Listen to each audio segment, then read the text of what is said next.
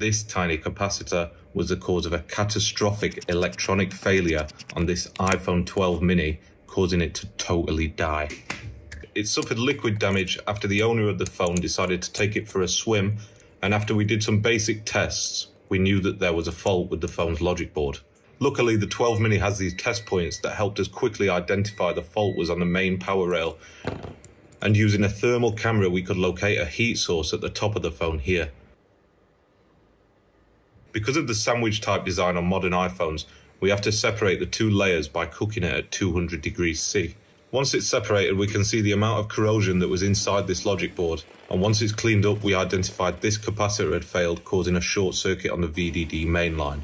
Once the bad cap was removed and replaced, we reassembled the logic board by cooking it again, and once it's about medium rare, we can remove it from the hot plate and reinstall it back into the phone. Attach a new battery and the phone